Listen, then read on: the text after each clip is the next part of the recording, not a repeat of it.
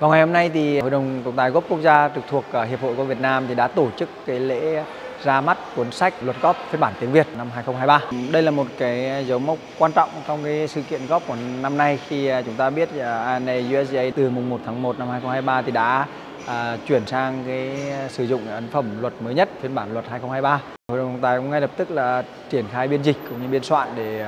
làm sao cộng đồng những người yêu luật golf ở Việt Nam thứ nhất là có thể sử dụng được thứ hai là chúng tôi có thể ờ, ờ, tổ chức các cái khóa đào tạo về làm sao kịp thời phổ cập đến tất cả những cái người ờ, yêu góp, người làm góp và những người những người quản lý điều hành ở sân góp, đặc biệt là những người mà tham gia tổ chức điều hành các giải đấu chuyên nghiệp cũng như là nghiệp dư thành tích cao ở Việt Nam để chúng ta có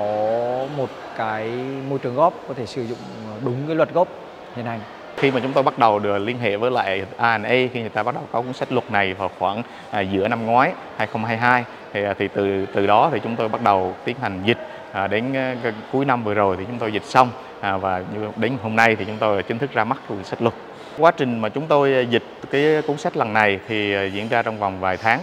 À, cũng rất may là so với lại cái cái phiên bản 2019 thì cái phiên bản 2023 lần này cái sự thay đổi là không quá lớn. À, cho nên là khi mà chúng tôi dịch thì nó cũng đỡ cái khối lượng công việc nó cũng nhẹ hơn ở cái phần sách luật. À, tuy nhiên thì cái phần mà à, những cái hướng dẫn luật, à, giải thích luật hoặc là quy chế hội đồng thì chúng tôi phải dịch mới hoàn toàn. Cho nên là cái khối lượng nó tương đối à, lớn.